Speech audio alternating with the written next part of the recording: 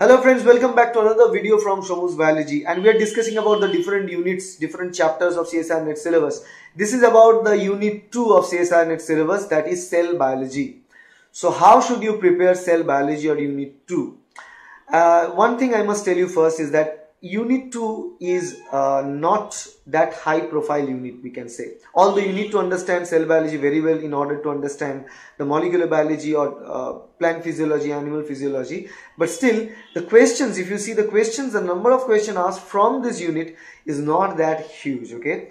And particularly unit 2 starts from the cell organelle cell membrane and all these things cytoskeletons and there are also cell cycle cell cycle regulation as well as the membrane uh, chemistry that is involving the membrane potential and all these things. So which are the most important topics from unit 2? The most important topics from unit 2 as I told you the first thing is the cell membrane. Anything related to cell membrane, membrane proteins, membrane transport and the membrane structure and composition is very very important for unit 2. Whatever you will see every single year, every single season there is a question from this portion role of cholesterol in membrane fluidity membrane asymmetry and all these things are very very important. Lipid rafts very important. Apart from that let's go to the second thing. The second thing here which is very important is uh, the uh, cell cycle and cell cycle regulation. Very very important. And not only cell cycle regulation but they combine this question along with the cancer biology so cell cycle regulation and how it is related to cancer. Okay? So role of p53 in cell cycle regulation and how cell cycle is regulated the different types of oncogenes and proto-oncogenes different types of tumor suppressor gene names. Those things kind of punched with unit 2 as well as unit 4 cancer biology together. Okay? And the third most important topic from uh, this is the cytoskeleton. Cytoskeletons are really important including actin filaments, intermediate filaments and microtubules. And the fourth thing which is very very important is the electrophysiology that is uh, the conduction system or resting membrane potential and uh, active membrane potential. Although we can also put that in unit 7 where uh, this is also part of nervous system so you can consider that too.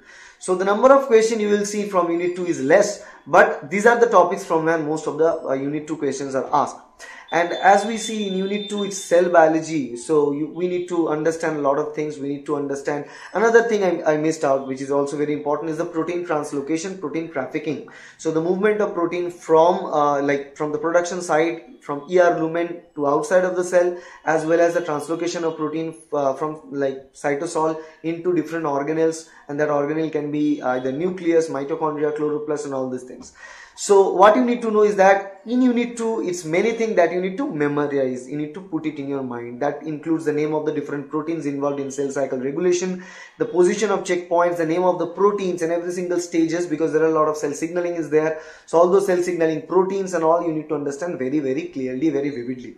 This is what you need to understand. So you need to remember many things for unit 2 and you uh, the, the idea of application is uh, quite less there because most of the thing you need to remember. The name of the different lipids that are involved in the composition of cell membrane and also many more things are really important to understand and uh, that's why unit 2 preparation is better at the end point of a preparation or practice while at the end just before the exam you can read it quite a couple of times to get it in a fresh content in your mind okay? So that's the idea of unit 2 okay? So that's all about unit 2 i hope you understand this process. Uh, if you like this video please hit the like button share this video with your friends subscribe to our channel to get more videos like that thank you. Bye